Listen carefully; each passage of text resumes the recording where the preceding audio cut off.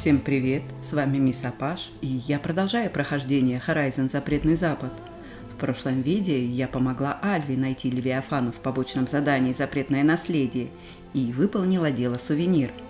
В этом я собираюсь получить легендарную перчатку дискомет Возвращения легенды, а для этого мне нужно найти реликвии во всех девяти руинах. Пять орнаментов я уже нашла, и в комментариях вы найдете ссылки на эти видео – в этом я найду последние четыре реликвии в руинах Длинный берег, Безводье, Пустошь Беглеца и Ночные огни. И начну я с руин Длинный берег. Итак, я делаю активным задание и ставлю меточку у входа в руины.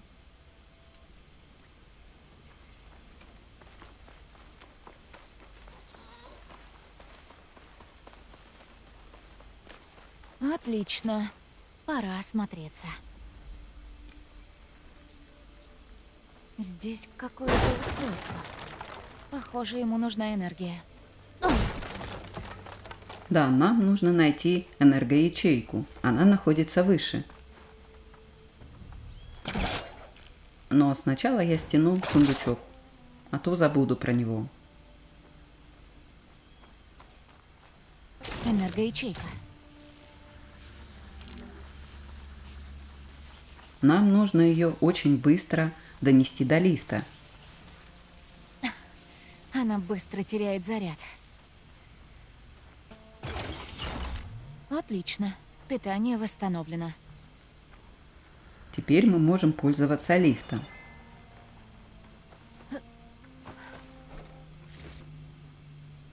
Заберу все содержимое из сундучка. И дальше. Рядом с лестницей есть проем. Нам нужно туда.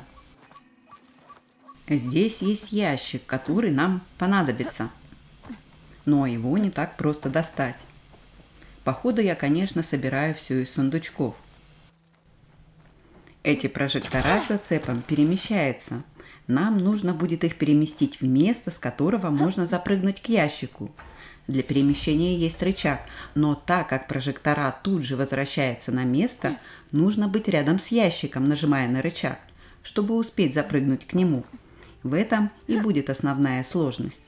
Итак, ищем подходящее место, чтобы нажать на рычаг.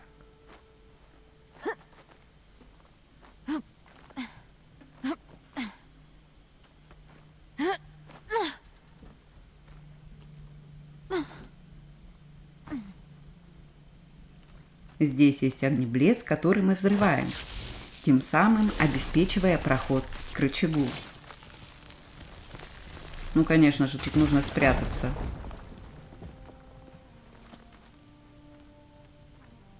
Итак, проход готов.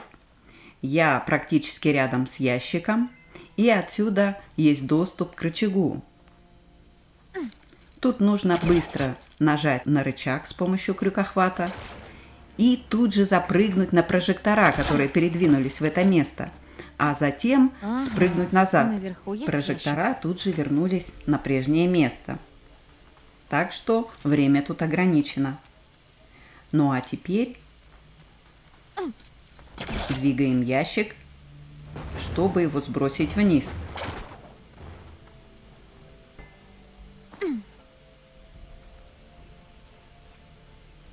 Нам нужно его дотащить до лифта.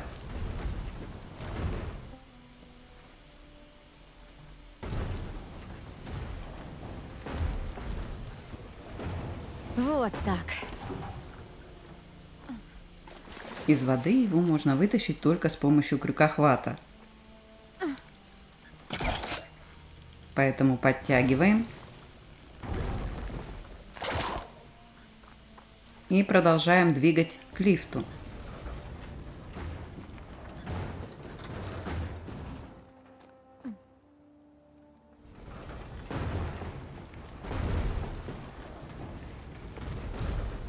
Теперь нам нужно поднять ящик на лифте. Думаю, это лифт.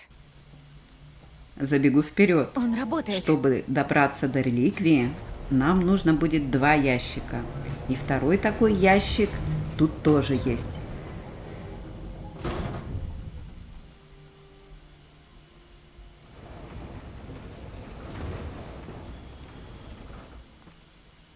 Этот ящик нужно вытащить. Второй нам тоже придется поднимать на лифте, поэтому я спускаюсь. Реликвия находится в башне с лифтом, но один ящик понадобится в лифте, а один ящик понадобится на лифте. Я снова запрыгиваю наверх. Это уже для того, чтобы сбросить вниз второй ящик. Но сначала к нему нужно добраться. А добраться можно только с башни. Я забираюсь на нее с правой стороны, но это только потому, что с этой же стороны есть сундучок с ресурсами.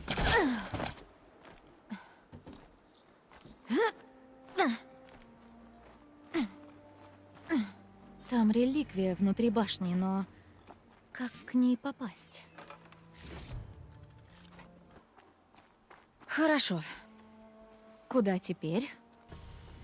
Второй ящик находится в той же зоне, где мы доставали первый, только с другой стороны. Но добраться туда можно только сверху. Ящик. Может пригодиться.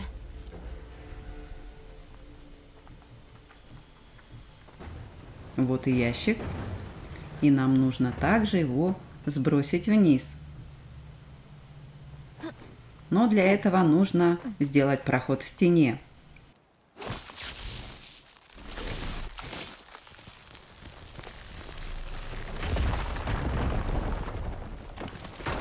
И вот проход готов. Мы сбросим его в зону, где находится лифт. К сожалению, по этому этажу его не удастся подвинуть.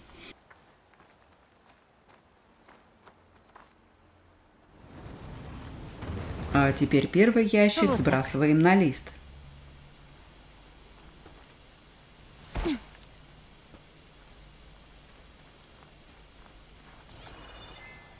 В общем-то, практически все готово.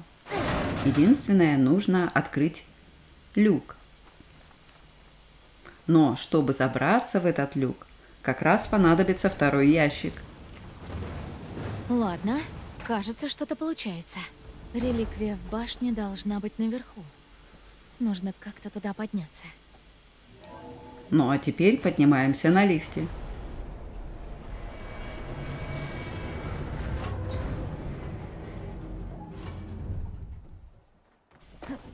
Запрыгиваем на крышу лифта. И с ящика, который стоит на крыше, уже забираемся выше.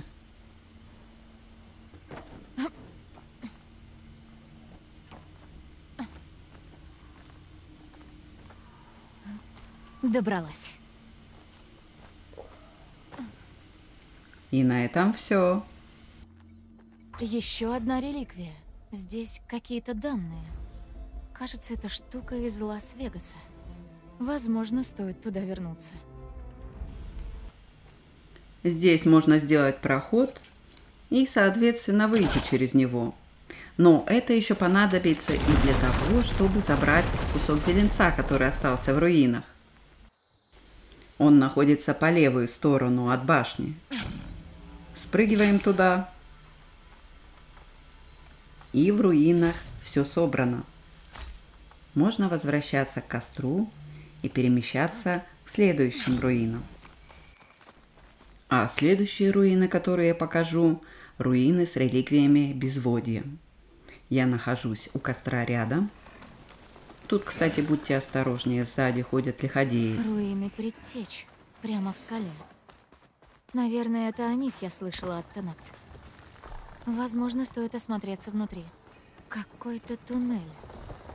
Нужно осмотреться. Сначала я заберу обломок зеленца, к нему можно подняться здесь. Кстати, эти руины достаточно простые, но также бедные на ресурсы.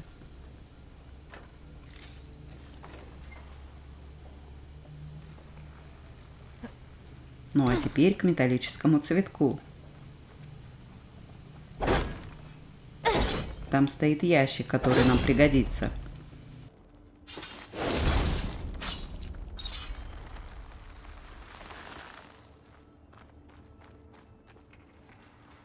О, ящик.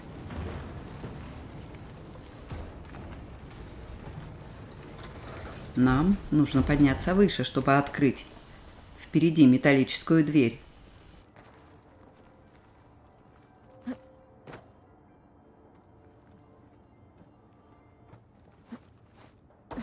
А это зачем?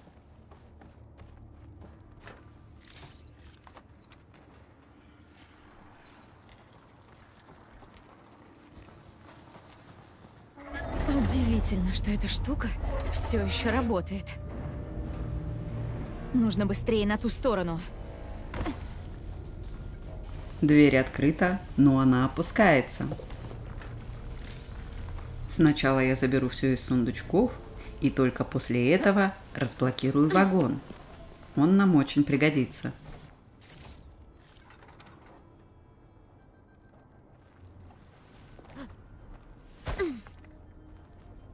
Ну вот, дверь закрылась. Теперь я в заперти. Надеюсь, тут есть выход. А вагон у нас находится за этой стеной.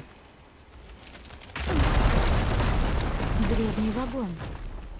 Может, еще на ходу. Так, и что мне с тобой делать? Двигаем вагон практически до самой двери.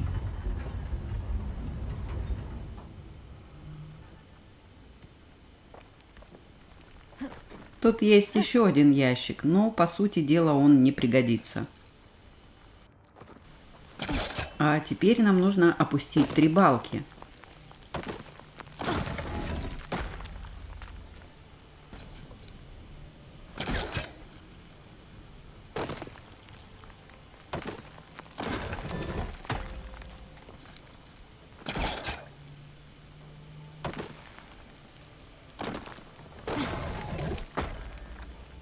Теперь с вагона можно запрыгнуть на них. Нам нужно добраться до блока доступа. С другой стороны находится дверь, для которой как раз он и понадобится. Хм, блок доступа. Он мне пригодится.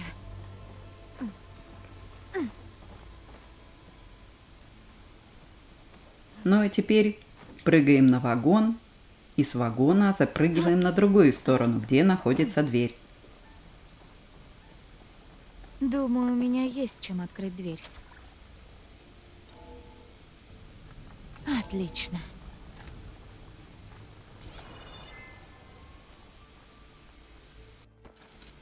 Отсюда мы сможем вернуться назад, за закрытую дверь.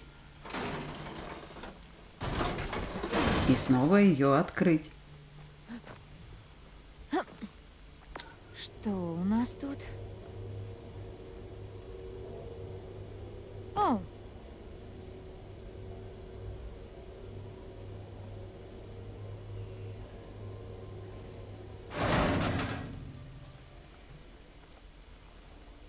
Но для этого понадобится сделать проход еще в одной стене.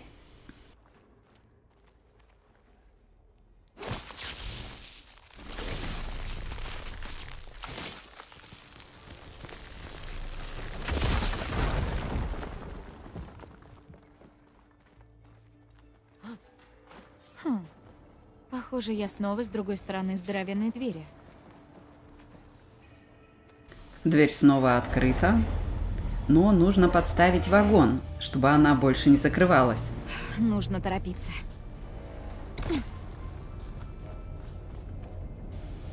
Тут Элой отпускает вагон тогда, когда это нужно. Так что дальше можно не упорствовать.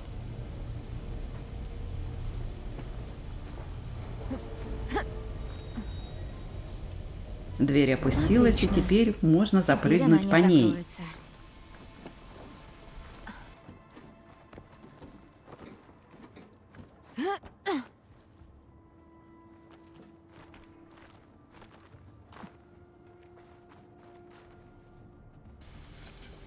Делаем еще один проход в стене. Вот. И по сути на этом все. Осталось только спрыгнуть вниз и забрать орнамент. Так, реликвия у меня. Согласно данным, эта штука как-то связана с Лас-Вегасом. Возможно, стоит туда вернуться.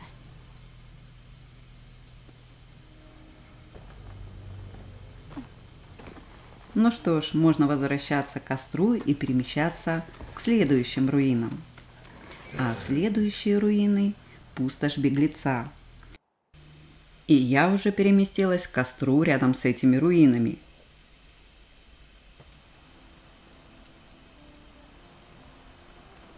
Руины предтеч. Стоит заглянуть внутрь. Посмотреть, что там. Итак, начнем. Реликвии у нас снова в башне. Я так понимаю, что это церковь. Так, и что у нас здесь?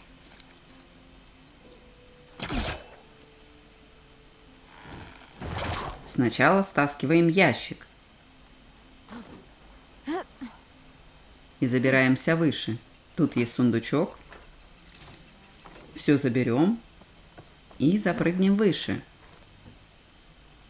Там реликвия. Но как до нее добраться? А еще там блок доступа. Здесь в нише есть сундучок, но его можно только вытащить крюкохвата.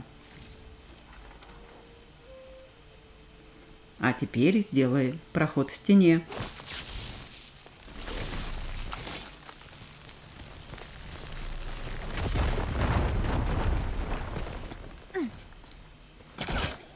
И еще один проход.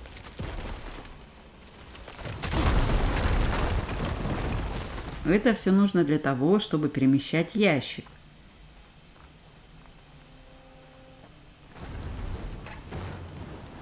Но тут нам снова понадобится два ящика.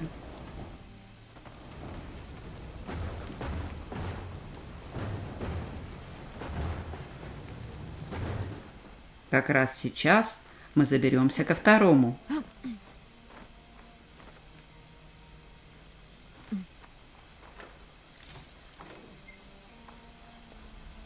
Тут есть также кусок зеленца, так что я все заберу. Может пригодиться. Ящик. И Может второй помочь. собираюсь сбросить вниз. Я вообще думала, что тут крыша проломится, но не тут-то было.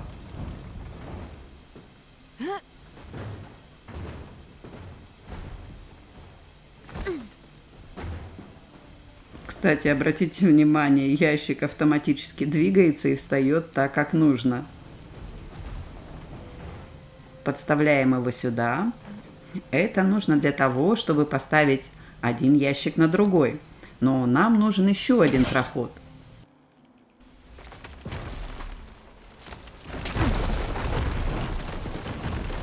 Проход готов, и теперь можно поставить один ящик на другой.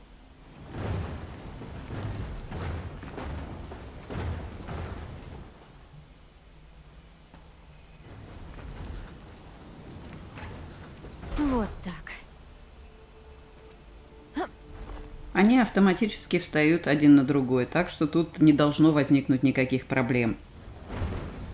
А вот с перемещением ящиков будьте осторожны. Нужно их перемещать прям по пути, где это возможно. Если вы застрянете, могут возникнуть сложности. Теперь задвигаем эти оба ящика в башню. Теперь мы можем подняться и забрать блок Получилось. доступа.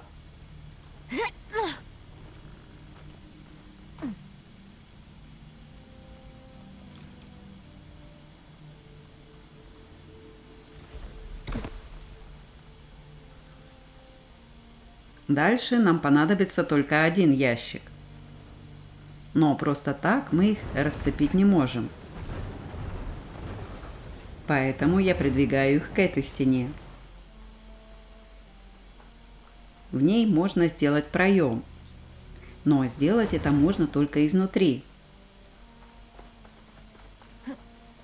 А попасть в то помещение можно через эту Думаю, дверь. я открою дверь. от которой мы достали блок доступа. Готово.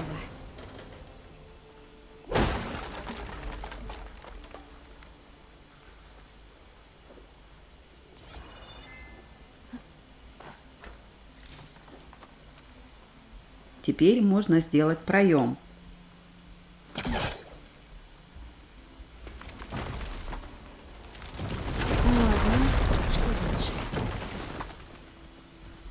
Но и сейчас становится возможным стянуть один ящик с другого.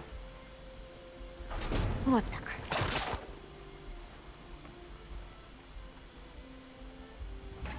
Нам этот ящик понадобится, чтобы забраться еще выше, колокольню, где как раз находится орнамент.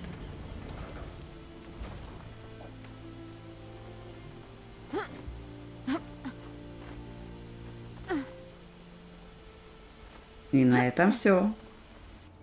Еще реликвия. Согласно данным, эта штука как-то связана с Лас-Вегасом.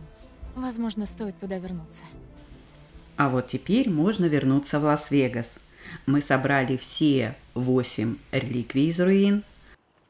Остались последние, которые находятся именно там. Поэтому я переместилась в тайный сполох.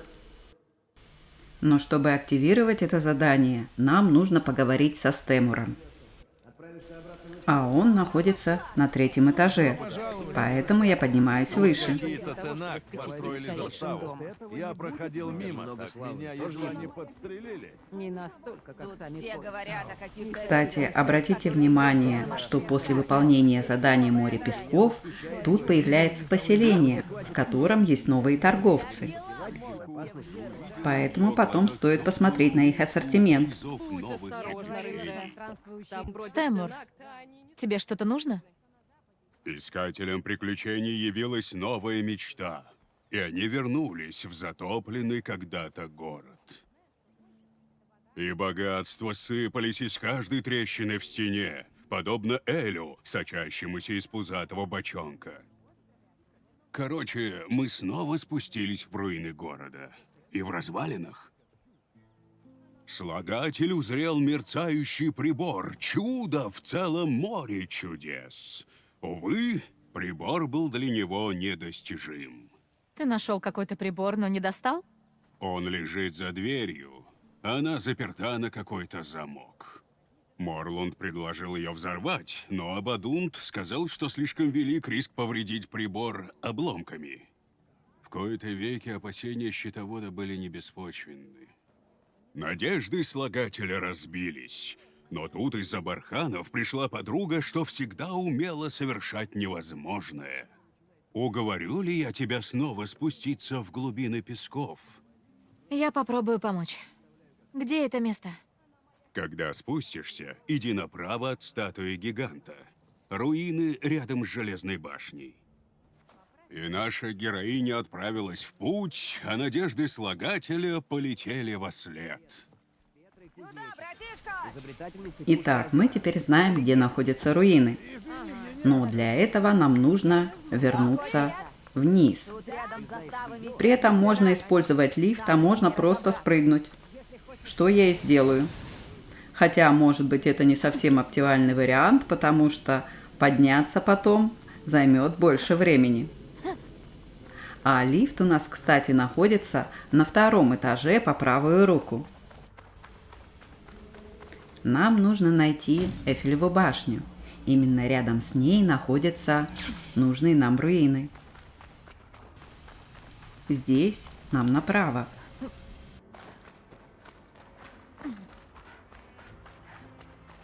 Вот и Эфелева башня, а руины прямо за ней. Но будьте осторожны, тут есть наракоп. Руины рядом с железной башней. Прибор Стэмора должен быть внутри. Наракоп какой-то прозрачный. Попробуем к нему подкрасться. Я успела. И вот решила на всякий случай его отсканировать. И да, у меня такой машины нет. И только после этого забираю ресурсы. Так, А вот и гигантская статуя, о которой говорил Стэмур. Руины где-то поблизости. Кажется, я на месте. И где же тот прибор? Вроде как реликвия совсем рядом, но до нее пока не добраться. Нам нужно открыть дверь, а для двери, соответственно, нужен код. Кажется, это и есть прибор. Похоже, эта дверь открывается паролем. Надо осмотреть руины и поискать что-нибудь, что может помочь. Итак, нам нужно узнать код. Здесь можно стащить сундучок, что я сразу и делаю. И поднимаюсь выше.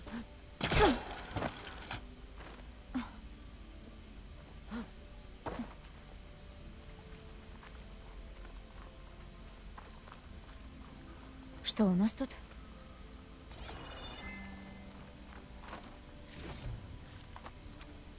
А тут сундучок. И есть запись, информация о побочных заданиях.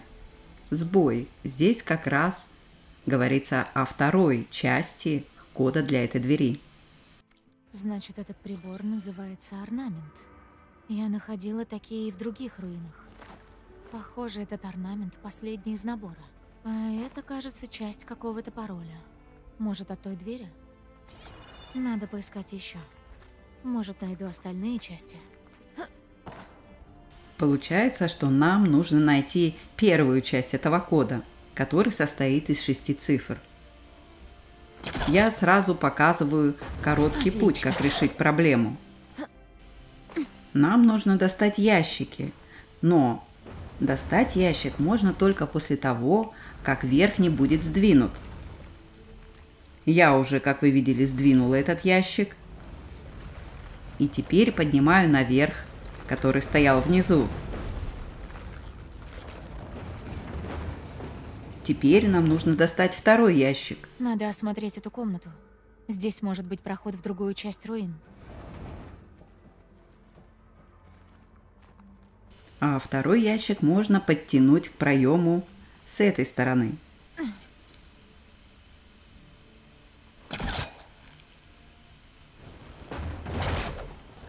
Готово. И подставляем его к первому.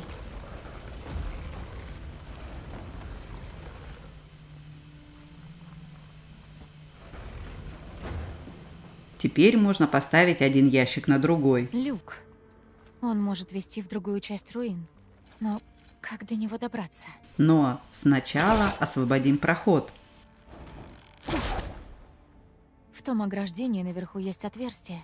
Попробую пробраться через него, надо только подняться. Последний ящик нам бы мешал при продвижении. Поэтому лучше это сделать сейчас, а не возвращаться потом. А теперь можно подставить два ящика к отверстию.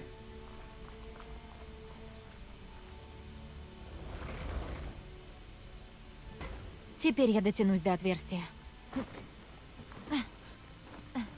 Готово. Здесь спускаемся вниз. И как раз то место, где нам мешал последний ящик. Но мы его уже предварительно убрали. Здесь же нам нужно открыть люк.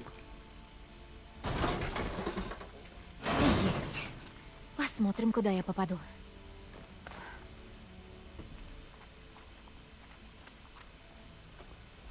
А тут есть сундучок.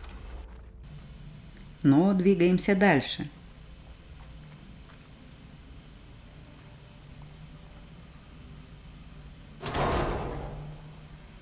О, я снова снаружи. Что тут еще есть? Впереди нас стена, где можно сделать проем. Так что делаем? И снова руины. И вот тут у нас находится вторая запись с первой частью кода для двери.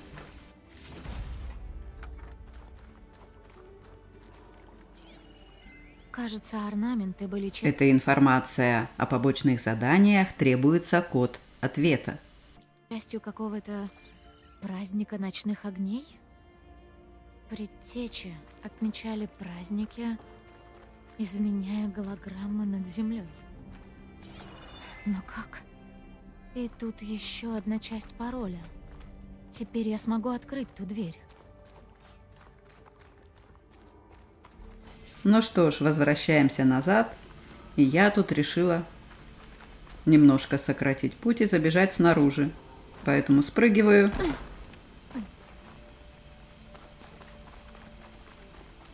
И забегаю там, где уже заходила. По сути дела сделано. Вводим код 739 1, 3, 5. Все, кстати, цифры нечетные.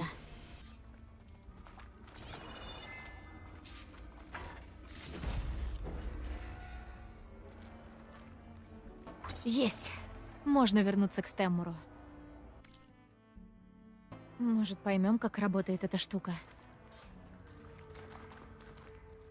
Но прежде чем возвращаться к Стэмору, я предлагаю найти обзорную точку, которая тут также есть. Сначала нужно найти столб.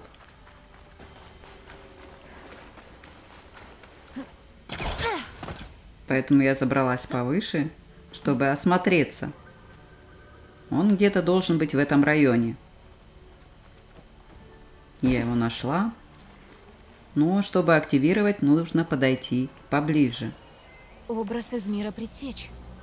Похоже на часть города под куполом.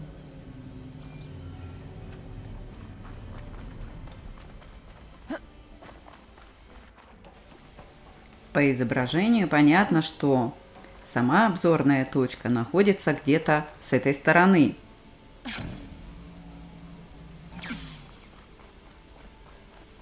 Я предлагаю забежать на мост.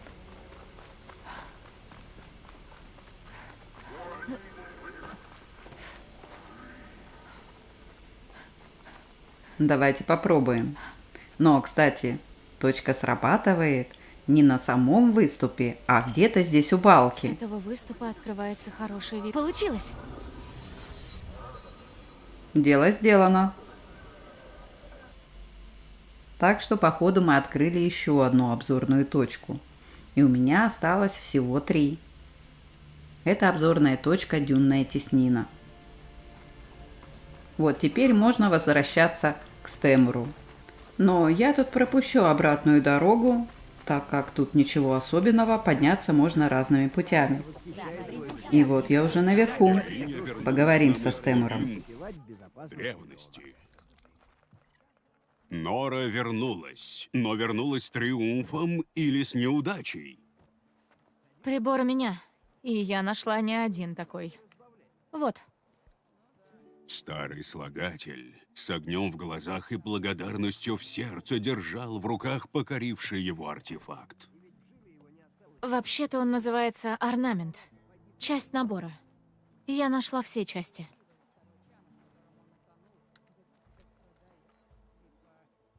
Но главная тайна осталась. Зачем орнаменты вообще создавали? Кажется, для какого-то праздника ночных огней. Думаю, так предтечи отмечали особые события. Вроде пира, Вроде. Праздник отмечал начало сезона? как и каждый пир в жиле. Есть пир первой бочки, пир растущих дрожжей, пир всех хмельных. И все про Эль, да? Хотя чему я удивляюсь? В общем, эти орнаменты могли как-то изменять огни над землей, но я не знаю как. Хм, узнаю эту отметку. Видел такую на устройстве, что мы откопали. Вот. Может, удастся включить огни? Ну, давай выясним, с какого орнамента мне начать. Я предлагаю посмотреть все орнаменты. Хочу этот. И наш слагатель приготовился зажечь новые огни над руинами. А, это был пир в честь молодой луны. Но не каждый же месяц они пировали. Ведь так? Клянусь кузней, это было бы слишком. Слыхала, кто теперь главный? Я бы ему и Кстати, пока не забыл. Загляни в тот сундук, может, найдешь что? Да от него толку, Наша героиня прошла испытание Запада, я его нашла давно утерянные Нет, огни нет, мы и была знаем, осыпана наградами и расплачиваться все равно почестями. нам. Не уверена, что все это Так, про меня, но... сложно это Спасибо. осознать. Как глубоко уходит. Элой, твоя компания всегда радует старого слагателя. Думаю, этот подойдет. Надеюсь, Абадунт будет доволен. В круговороте золотой листвы старый слагатель ощутил спокойствие и чистоту разума и обрел равновесие. Ну да, грубовато. Я радею за это. Сердце старого слагателя согрел визит друга. Давай вот этот. Сейчас устроим. Какой-то веселый зимний праздник. Это так же ясно, как небо в мороз. Но что Нет, это за тварь мы такая? все знаем, кто это был. Очень Но похожа на расплачиваться все равно нам. гребнерога. Привет! Нора вернулась туда, где ее ждал рассказчик и хранитель орнаментов. А если этот? Хорошо. А? Клянусь кузней, не пойму, зачем предтечам был праздник в честь листьев. Ну, на удачу, наверное. Давай этот. По слову героини, они осветили небо. Вокруг парят сердца. Готов поспорить, что это празднество посвящалось любви. Хочу этот. И наш слагатель приготовился зажечь новые огни над руинами. И что все-таки общего между кроликами, яйцами и цветами? Может, знаки весны? Сердце старого слагателя согрел визит друга. Что, захотелось праздника? Выбирай.